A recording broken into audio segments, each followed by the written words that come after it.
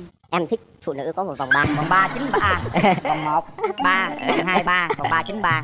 Thành hình uh, hình uh, tam giác kim tự tháp.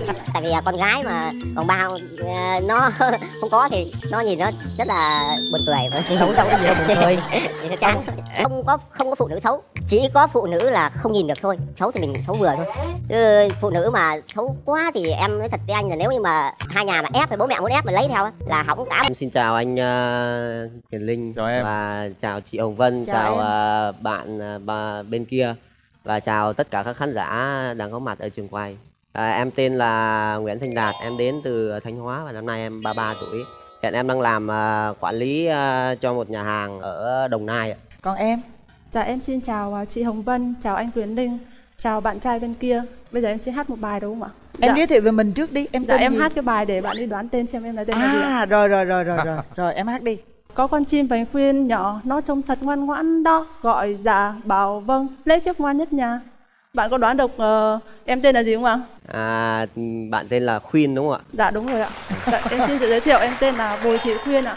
Em sinh năm 1989, hiện em là giáo viên ạ. à em là giáo viên tiểu học hay mầm non Dạ em dạy đại học ạ. em dạy đại học luôn hả À, dạ. rồi em cứ làm chị bất ngờ từ cái này đến cái khác vậy đại học làm môn gì Dạ em dạy toán cao cấp. chết Dạ. rồi chết chết tôi rồi kìa em nói về ưu khuyết điểm của em đi chị thấy em rất là dí dỏm đó Dạ. Ưu điểm của em thì ờ, tính hiền ạ. Chưa bao giờ nóng giận hay là giận ai đấy ạ. anh Hiền là em thích này rồi còn điểm yếu của em Thì em dễ xúc động. có cái tật xấu nào không Tật xấu chắc em ờ, hơi nề nề một tí. rồi còn bạn nam bên kia Điểm mạnh của em là em ờ, rất là thích chơi thể thao và cũng rất là thích về bên ờ, mỹ thuật, bên hội họa. Ừ. Hôm nay em có ờ, vẽ một bức ờ, tranh để tặng ờ, bạn gái bên kia. tặng bạn gái đúng không rồi chúc anh sẽ em ta- em chúc anh anh, anh ờ, mở coi giống dạ. bên bạn gái không ha Dạ vâng. Điểm yếu của em thì em rất là mềm lòng. à, bạn gái bên kia cho chúng Dạ. tôi biết à, đường tình duyên thế nào đi Dạ em có trải qua hai mối tình ạ. Mối tình thứ hai chia tay được một năm rồi ạ. mối tình thứ hai Dạ. kéo dài bao lâu Dạ trong vòng uh, 6 tháng ạ. Ừ, nguyên nhân chia tay là gì Ờ, dạ cũng chắc cũng một phần là do em đấy ạ. Dạ do không có kinh nghiệm trong yêu đương nên thành ra là nếu khi mà hai người có mâu thuẫn thì em không có biết xử lý cho khéo ạ. Đàn trai Dạ. em hãy cho biết à, một chút đường tình duyên của em cho đàn gái nghe đi Em thì ờ, có ba mối tình ạ. ừ, ba mối tình chia tay được gần 4 năm rồi. gần bốn năm rồi Vâng, ba mối tình đấy thì cũng đều là em gặp phải những cái các ờ, bạn gái đấy thì hung dữ quá. hung dữ hả Vâng, hung dữ quá thì cái, cái, cái lúc mà em không không không thể chịu đựng được nữa thì ờ, ừ. em hung dữ càng hung, dữ quá. mà làm gì dữ nhất đâu em nhớ không cô ấy bảo là cô thích ăn ờ, cô thích ăn thịt nướng. Ừ. thì em ở nhà em cũng loay hoay mình muốn mình đi chợ về nhà rồi lúi húi một mình làm rồi nướng nướng nó lâu. Ê, lúc nướng xong cái là bị ăn một trận chửi te tua. Anh làm cái gì mà lâu rồi anh để tôi chờ ờ, này nọ đấy. À. thì em cảm thấy rất là buồn. Đấy cực kỳ buồn phục vụ chú ấy mà phải chửi mình ha. Dạ, dạ. rồi như thế là hiểu buồn. rồi nói chung là còn- không thích gặp dạ. cô gái hung dữ ha còn bây giờ đến qua bên đàn gái rồi chào em gái Dạ chào anh. em muốn tìm một người yêu lý tưởng như thế nào Cao hơn em một chút xíu ạ. cao chút xíu em cao Dạ. mét mấy Dạ em cao mét 62. sau hai em mét mấy tại em cao hơn mét sáu bảy rồi ngon cao chút xíu rồi cao hơn phút luôn Dạ người mập mập chút xíu ạ. và em là thân hình cân đối Cân không- đối. Dạ. cái chỗ nào ờ, thừa thì thừa chỗ nào thiếu thì thiếu Khi mà nhìn đàn ông mà mập mập chút xíu em cảm giác được che chở. được Còn che nếu mà chở. gầy quá em cảm giác như kiểu là gió thổi bay mất. Đôi khi em người- ơi em ơi ờ, gầy là thầy tất cả em yên tâm đi gầy nhưng mà bờ vai người ta vững chắc lắm đôi Còn, khi gầy mà che chở đôi khi bự quá che không nổi đôi, đôi khi bự quá không chạy được đâu em ạ À, nếu mà khi anh gặp chuyện gì anh không vừa ý anh có hay nói nhiều không anh? à, anh ờ, thường thường là anh ít nói cho nên là anh lên đây anh cũng gặp là một à, một người là cũng ờ, nói đi để cho anh tiếp theo cái đà đấy anh nói chứ anh cũng ít nói lắm em ạ. Rồi đó là ít nói đó hả em? Vâng, Nãy em nói em nói ít nói nói hơi dài chút thôi. Đúng không? coi như lên- là nói một chuyện mà anh phân chị- trần á tám chuyện đó. Đúng ừ. Chị Hồng Vân ơi nhưng mà lên đây em phải cố gắng. Cố gắng nói đúng không? Vâng. Biết sao không? Lúc mà nói chuyện mà chưa thấy em á làm chị hình dung tới cái nhân vật của chị trong cái vở diễn mà chị có dựng là ảnh tên là ảnh tư phân trần. Ảnh phải phân trần xong xuôi hết mọi chuyện ảnh mới vô cái công việc chính của ảnh. Dạ. làm như ảnh ngại mất lòng á dạ đúng rồi chính xác. Em à, không muốn to tiếng là em à, muốn mọi chuyện đi đến một cái nó nhỏ nhẹ nhất. Đó cho nên là anh phân trần tất cả mọi chuyện mà anh chuẩn bị làm. Đúng rồi. Em ơi gia ví dụ gia đình à, bên à, bên bên nhà em á, thì bố mẹ em có khó tính không? Tại vì là anh gặp mà ba mối tình trước bố mẹ khó tính. Trời ơi dạ khó tính. xui quá gặp ba người yêu hung dữ mà rồi ba gia đình khó tính nữa. khó tính. Bước đến nhà em bóng xế tà. Đứng chờ 5 phút bố em ra. Lơ thơ phía trước vài con chó lác đác đằng sau chổi lông gà. Em hãi lắm hả? Em em hãi. Hại Đó, để coi là em bố, bố mẹ bố mẹ em ờ, nói chung là bố em là kiểu như kiểu là ăn cơm nhà vác tù vào hàng tổng ấy ạ. Cái mẫu Dạ. bạn gái của em. Rất là đơn giản thôi chỉ cần à, khuôn mặt à, ưa nhìn. Ừ. em thích phụ nữ có một vòng ba không cần eo với cái này thích vòng ba. Em tự nhận xét về vòng ba Tại của vì- mình dạ cái này để tí nữa sau chương trình cho bạn nhận xét ạ vòng ba chín ba vòng một ba vòng hai ba vòng ba chín ba. Thành hình à, hình à, tam giác kim tự tháp. Tại vì à, con gái mà vòng ba à, nó không có thì nó nhìn nó rất là buồn cười. Đâu đâu có gì đâu buồn cười. Nhìn nó chán. Đâu gì đâu chán em. Quan trọng là mình yêu thương nhau thôi. Mình chăm sóc yêu thương nhau chứ đâu phải vòng ba nó ấy đâu. Không anh ơi yêu thương thì cũng nó cũng phải có một tí cảm giác cảm xúc. Không có không có phụ nữ xấu. Chỉ có phụ nữ là không nhìn được thôi. Xấu thì mình xấu vừa thôi. Chứ phụ nữ mà xấu quá thì em nói thật với anh là nếu như mà hai nhà mà ép hay bố mẹ muốn ép mà lấy theo á, là hỏng cả một đời con cháu luôn. Cho nên là không có phụ nữ xấu. Chỉ có phụ nữ không biết làm đẹp thôi. Người ta vẫn làm đẹp được bây giờ á. Vâng. cỡ nào cũng làm đẹp được không có phụ nữ xấu nha. Để coi em gì. Để coi coi coi vẽ coi cái mẫu ờ, tôi coi trước em ông ích kỷ quá à. ông Coi- coi là ông phải mở một lượt cái tôi với ông coi coi có vòng ba gì vẽ trong đây không cái đã. Trời ơi, vẽ đây. Coi coi. Đẹp. Đấy đây là đẹp rồi đó. Tôi coi coi nè. Coi có giống bên coi kia. trước. Em thấy có giống em không? Dạ không mà Em sao không thấy có vẽ phòng bà?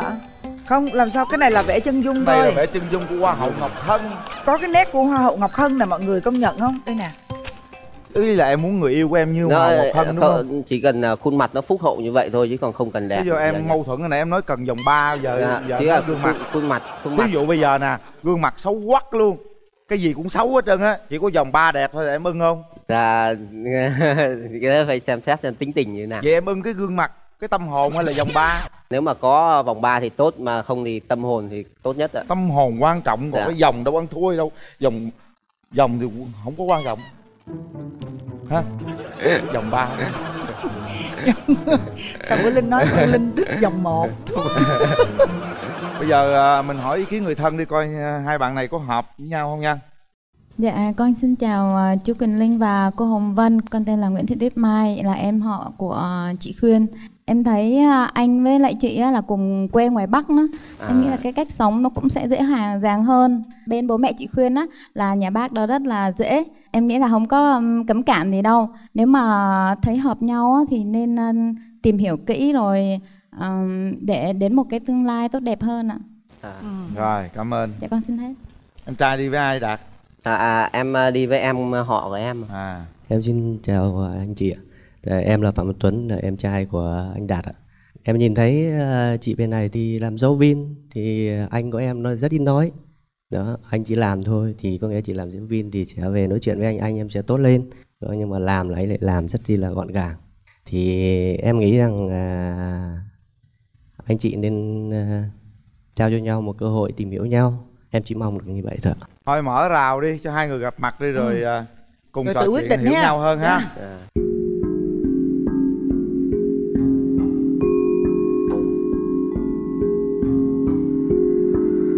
bắt đầu đi đạt. Chào em. Dạ chào anh. Hôm nay em có món quà tặng anh đó là sách với lại em có làm một món cơm để tặng anh. Ờ, cảm ơn em nhiều nhé dạ để cảm ơn anh, anh à, tặng em. Rồi chúng ta trò chuyện với nhau đi cảm nhận về nhau đi. Kia bây giờ em nhìn thấy anh thì em thấy anh như thế nào? Nó cũng hơi lệch pha chút xíu. Tại vì lúc vừa nãy nghe anh nói thì em nghĩ anh trẻ. Tại vì trẻ thì sẽ nói chuyện nó sẽ ờ, hài hước. Còn khi gặp anh như này thì em thấy anh Hơi ờ, già. chững chạc. À chính chạc à? Đó là cái tính của anh cái con người của anh nó vui như thế. Thế bắt đầu nhìn em thì à, anh thấy à, nhìn em rất là dễ thương không biết thương có dễ không? Em em à, muốn một người à, bạn đời của em sau này nó sẽ như thế nào? Thì em có làm một cái bài thơ thì đó chính là mong muốn của em. Em chơi vơi giữa dòng đời xuôi ngược đi tìm anh một nửa của riêng mình. Anh là ai giữa dòng đời tấp lập để em đi tìm mấy chục năm qua? Em chẳng cần anh phải đi bôn ba, kiếm nhiều tiền mua này và mua nọ. Em cũng chẳng cần gia đình anh giàu có, tiền của ba mẹ có để được đâu. em cũng chẳng cần anh học rộng sâu, bạc hết cả đầu nhìn như ông trẻ. Em cũng chẳng cần anh đẹp quá đâu, bởi vì em cũng chẳng là hoa hậu. Em chỉ cần anh là người cha tốt, biết yêu thương chăm sóc những đứa con, và em cũng cần anh là người chồng vui vẻ, luôn mang tiếng cười cho mẹ con em. Đó người. thì à, cứ yên tâm. Dạ. anh à, không hứa cho em sang giàu nhưng anh sẽ hứa yêu em dài lâu. À, anh cũng tặng em lại một câu thơ đó là cái này là nguyện vọng của anh đối với đúng một người con gái. Ừm, rượu giết ta ta say ta lại tỉnh. Tình giết ta ta chết mãi ngàn năm. Một con tim không bao giờ hai chữ. Một con người không ấp ủ hai tim nếu Thôi. bây giờ à, hai người à, hẹn hò với nhau mình sẽ hẹn hò thế nào một tháng thì anh cũng ờ, sẽ cố gắng sắp xếp hai lần thôi Dạ. Em thì công việc của em ở Sài Gòn rồi nên thành ra là ờ, em chắc chắn là ở Sài Gòn rồi. Thì anh có theo em ở Sài Gòn được hay không? ừ, anh cũng ờ, nói chung là ờ, công việc của anh chủ động được mà công việc của anh là lưu động được anh Dạ. ờ, có em làm ở đâu thì anh cũng thể làm ở đấy được bây giờ em đứng lên đi em đứng lên rồi em đứng lên luôn đi Dạ. Đó rồi em xoay hàng vòng nè. Em xoay hàng vòng đi. Đúng cái ý của em không? Dạ đúng rồi. Vòng ba ok đúng dạ không? vâng ạ. đến đây là mình cũng ờ, làm một cái duyên rồi thì Dạ. ờ, mình cũng nên ờ, cho cho nhau một cơ hội. Nên em cũng hy vọng rằng là chúng ta sẽ có cơ hội tìm hiểu nhau ở ngoài để tiến xa hơn. rồi hết thời gian bây giờ chúng ta sẽ quyết định bằng nút bấm. Bấm là quyết định trao duyên với nhau. Bấm là chúng ta phải có trách nhiệm với quyết định của mình có trách nhiệm với nút bấm. Chuẩn bị. Sau 3 tiếng đếm. Một hai, hai ba. ba. Hết thời gian.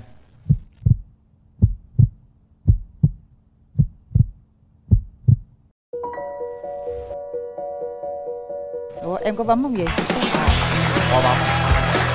Rồi. Chúc mừng hai bạn. Nắm tay nhau đi nào.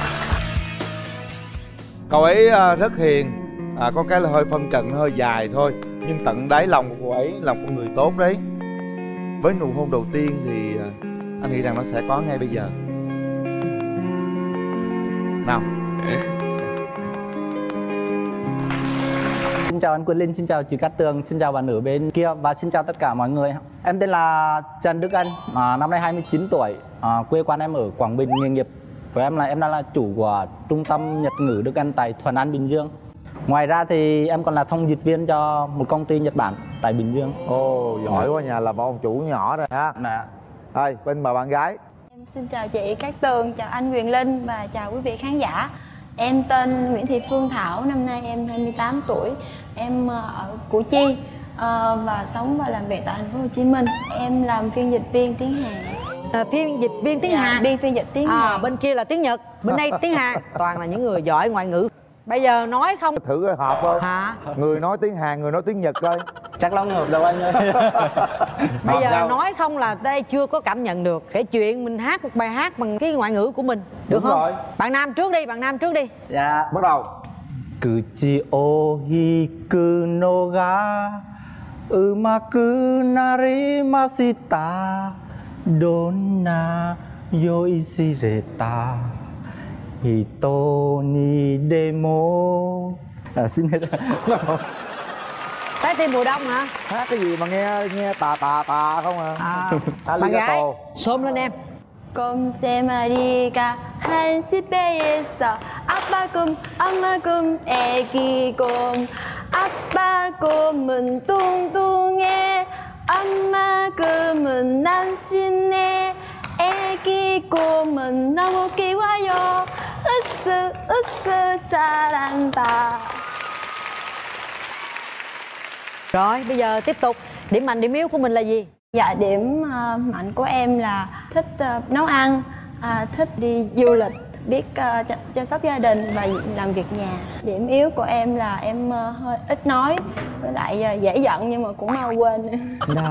cũng dễ thương ha còn em trai À, điểm mạnh của em là trong công việc thì nghiêm túc, nhiệt tình, đã nói là làm và làm là làm đến cùng. À, trong gia đình thì có thể là nấu được rất nhiều món ăn. Những gì mà phụ nữ làm được thì em sẽ làm được Hay về công quá. việc nội trợ. Có những điều phụ nữ làm được mà mình không thể làm được. Dạ vâng, nhưng em nói là ở trong nội trợ, trong nội trợ trong gia đình dù nấu ăn hoặc là quét dọn. Nói chung chuyện gia đình em làm tốt hết. Làm tốt hết. điểm yếu là gì? Điểm, yếu thì có một cái mà em thay đổi hoài mà không được đó là ừ, dễ tin người. Ví dụ như à, người, người ta à, than khổ than nghèo rồi mượn tiền mượn bạc gì đó em chỉ gặp một hai lần em cũng cho mượn luôn. khổ quá em ơi bữa nay là mình muốn tiền điện tiền nước cho anh mượn à. 5 triệu đi em có không Dạ có tí nữa em sẽ cho. Hả? nhớ nha nhớ nha chị cũng khổ quá em ơi mấy cái em trai em trước lên đây tham gia chương trình á có những em có khuyết điểm là cũng giống giống nhau là ít tắm em có vậy không À, em thì một ngày em tắm hai lần nhưng mà một lần em tắm khoảng 2 tiếng. hả em tắm gì hai tiếng là làm gì trong hai tiếng Trước khi tắm thì em mở nước xả cho nó chảy như vậy khoảng một tiếng. trời ơi chi vậy em hả Tại vì em em thấy là cái em thích cái âm thanh của nước. xả nước khơi khơi Ra vậy xả nước khơi khơi vậy á. không được nghe sao phí nước như, như nước người ta nước nhiều lắm. nơi không có nước sạch để xài đó em Dạ. Và khi xả nước như vậy em sẽ suy nghĩ ra được rất là nhiều cái hay lắm mà cả ngày em không suy nghĩ ra. Ví dụ như ờ, trong công việc giống như là em rũ bỏ hết những cái cái mà em cảm thấy là nó vướng mắc. rồi còn cái cái cái tật xấu gì nữa không khai hết đi chứ lên đây không được nói láo đâu Những lúc buồn á thì em thường hay em hay đi cà phê em ngồi một mình vậy á. ừ. chuyện nó bình thường cái đó bình Dạ. thường cái nào mà lạ lạ tật xấu gì bí hiểm á Dạ chắc chắc hết rồi á. Ờ chút tôi hỏi mà lòi ra nữa không được rồi nha. người ta xấu lắm hỏi thật xấu không hoài. tại thấy gì có cái vụ nước đó là thấy kỳ Không, phí nước người quá. hơi ờ, gọi là ờ, phí nước thôi. Rồi mình trải qua mấy mối tình rồi em? Dạ em ờ, trải qua một mối tình quen cũng một năm hơn nhưng mà chia tay cũng ba bốn năm nay rồi. Bạn trai mình có mấy mối tình rồi em Nhà em có hai mối tình ạ. Mối tình đầu tiên kéo dài 3 năm thì lý do chia tay là đúng người nhưng mà sai thời điểm. Cái thời điểm đó thì em còn đang muốn phấn đấu cho sự nghiệp ạ. rồi bây giờ sao Dạ bây giờ thì hiện tại em đã ổn định hết. Mối tình, tình thứ hai thì không hợp. Vừa mới tiến đến thì bật lùi luôn. em muốn tìm một người yêu thế nào À, truyền thống pha lẫn chút hiện đại. khó tức vừa mặc áo dài vừa vừa mặc quần tây á hả Có nghĩa là truyền thống thì sẽ biết nấu ăn, biết à, quan tâm chăm lo cho gia hiện đình. đại cũng biết nấu ăn vậy À, hiện đại thì có thể là thích đi du lịch rồi là thích à, giao tiếp với bên ngoài đó là pha lẫn chút hiện đại. à Dạ. rồi em có cho người yêu em là nhuộm tóc sơn móng tay móng chân hay là mặc quần áo ờ, gọi là thoải mái chút xíu không Những cái đó là ok không vấn đề gì nhưng mà xăm thì không được xăm một tí gì đó ở chỗ nào đó cũng không được ạ. không được luôn nói chung là không thích xăm mình Không thích xăm mình. rồi bây giờ bạn gái muốn tìm mẫu người yêu lý tưởng thế nào em Cao hơn em một mét bảy, không bị hói, không được mập quá. Mỗi người đàn ông của gia đình ừ. không có gia trưởng. Ừ.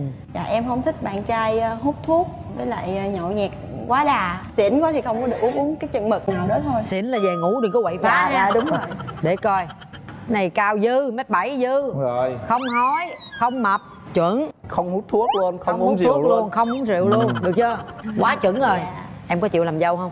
Dạ không chị. Em thấy ờ, sống riêng á thì mình có thể lo tốt được cho bên nội bên ngoại. Còn sống chung với mẹ chồng thì nó sẽ xảy ra nhiều mâu thuẫn đó chị. Cái đó là suy nghĩ của em thôi chứ bây giờ có ba mẹ chồng mình ở chung với bên nội là mình sanh con sanh cái mình có đi đâu để cũng có người coi chừng con cháu giùm mẹ chồng cũng như mẹ mình thôi. Cái suy nghĩ đó là sai rồi đó bên đây có làm cần phải làm dâu không em Dạ không ạ. Hiện tại em đã có đất ở Bình Dương về xây nhà thôi còn bố mẹ em vẫn đang ở quê. mà em định lập nghiệp ở trong này luôn Là em lập nghiệp ở trong này luôn. ạ. rồi thật sự mà nói ờ, không muốn làm dâu thì cũng suy nghĩ đó cũng không phải là sai nhưng mà anh nghĩ rằng thời buổi này làm dâu tôi thấy Khỏe ra. nó sướng hơn ừ chính vì không hai vợ chồng sống chung với nhau vợ chồng son nghĩ hạnh phúc nhưng mà tới hồi mà khi có con có cái rồi á, công việc bận bịu nhiều lúc mà muốn đi đâu hai vợ chồng cũng đi không được. Đúng lúc đó rồi. là em phải ở nhà coi chừng con chồng em đi một mình. Sao em rồi bây giờ à, nếu mà được khi nào mình tiến tới hôn nhân được cưng Thêm khoảng 3 tháng, 3 tháng. ba tháng? Ủa sao gấp vậy? Bây giờ em dành được bao nhiêu thời gian cho người yêu Hiện tại thì thứ bảy và chủ nhật ban ngày thì em không có phải dạy cũng như không phải là đi làm cũng có thể là 9 10 giờ đêm hoặc 1 2 giờ sáng em cũng vẫn phải làm việc. ừ. tại vì em muốn lấy vợ sớm thì anh phải em phải có cái thời gian tìm hiểu Dạ. phải yêu nhau phải chăm sóc mình mới biết hợp hay không hợp mình mới lấy được Dạ. đúng không quan tâm cái chuyện là chúng ta có hợp với nhau hay không thôi để anh à, qua xem bên đây có hợp với em không ha Dạ. hello Dạ, em chào trời ơi dễ thương quá nãy giờ em tưởng tượng chàng trai bên đây à, tính tình như thế nào anh bên kia tính tình như là người của ờ, gia đình cũng hơi Đúng nghiêm rồi. túc. Anh này ảnh cũng kỹ tính lắm. Dạ. Có năng lực ha? Nói chung là về cuộc sống cái này tương đối hoàn chỉnh rồi. Ảnh hơi đẹp trai một chút. À, em có ghen không? Ghen nhưng mà mình ghen đúng. Phải ghen không phải đụng cái gì cũng ghen. Được. À, cho em hỏi bạn gái một hỏi câu đi được em không? hỏi đi. À, ví dụ như là 11 12 giờ đêm anh còn nhắn tin với người khác ấy, là ý nghĩa là trong công việc á, bạn gái bên đó có ghen không? Có thể 1 2 giờ sáng chẳng hạn, bật dậy lật máy tính và nhắn tin nhắn tin đôi khi 2 3 tiếng đến 2 3 giờ sáng chẳng hạn thì không biết bạn có ghen không? mà nhắn cho ai? Nhắn cho ai? Ngoài dạy tiếng Nhật thì còn là tư vấn xuất khẩu lao động, du học Nhật. chuyện không sao đâu. Đấy chuyện là mình làm tầm bậy thì mình không bao giờ dám nằm trên giường mà mình nhắn hết trơn á. Có mọc râu mọc nanh cũng dám nhắn hai ba giờ khuya nữa chừng nào cái chuyện đàng hoàng phải dám nhắn đúng không em ha? Dạ. Anh nhưng mà bạn- em nghĩ giờ đó khuya quá rồi không lẽ các bạn mà còn thức để mà nhắn tin? Không nhưng mà khuya Ở đây mà ở nước ngoài á hiểu không? tại vì bạn ngoài. ấy làm việc chứ ở nước ngoài. Ừ. cho nên là cái giờ mình khuya nhưng mà bên kia người ta là tối thôi thì dù mình trao đổi công việc chắc khuya. Dạ không sao chị. À không sao cũng nói chung hai bên đó là trai tài gái sắc á. Rồi. Bây giờ mình hỏi thăm gia đình coi hôm à, nay em gái đi với sao. ai? Dạ em đi với mẹ và dì với một người bạn À, xin chào hai MC à, Quyền Linh và Cát Tường dạ à, cùng tất cả à, quý vị có mặt trong trường quay hôm nay. À, tôi là mẹ của Thảo. Thảo à, rất là ngoan, hiền. Trong việc nhà thì rất là gọn gàng, ngăn nắp, rất là thương yêu cha mẹ. Bữa nay đi ghi hình nhưng mà hồi tối này tôi ngủ không được á. cô suy nghĩ gì cô Thì muốn cho con mình à, gặp được một người à, như ý như muốn của nó. À, bữa nay à, đi thì thấy cháu à, bên này thấy cũng được. À, nói chuyện thì cũng à, chững chạc, chín chắn, à, cũng vui vẻ. nói chuyện với cô vài dạ, tiếng con đi cảm ơn cô ạ. Rồi cô mong à, hai đứa à, cho nhau cơ hội rồi tìm hiểu nha. Dạ con cảm ơn cô ạ. rồi em đi với ai À, em đi với em trai của em Đầu tiên thì em xin chào anh Quyền Linh, chị Cát Tường và chào chị gái. Em là Chiến, em trai của Đức Anh ạ. Chị gái bên đây á, thì ngoài hình khá là dễ thương, tính tình có hiền lành, ít nói, có thể tìm hiểu anh thì có thể hợp. Còn nói về em trai em á, là một người rất là tuyệt vời. á. Câu chốt của em là qua gặp chị thì uh, bấm nút hẹn hò với chị Châu luôn nha. rồi rồi chúng ta chuẩn bị kéo hàng rào cho hai bên gặp mặt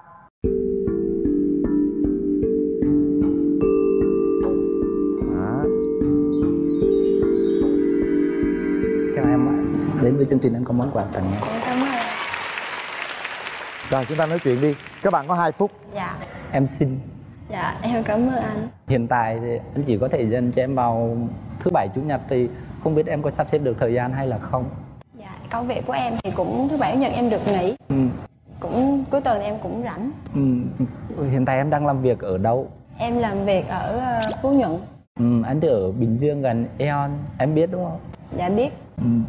Ví dụ như hẹn hò khoảng bao lâu thì chúng ta tiến tới hôn nhân được? em nghĩ là khoảng một năm đổ lại Ừ. Anh cũng nghĩ như vậy nhưng mà nếu như hợp nhau quá khoảng 3-4 tháng thì có thể tiến tới hôn nhân không?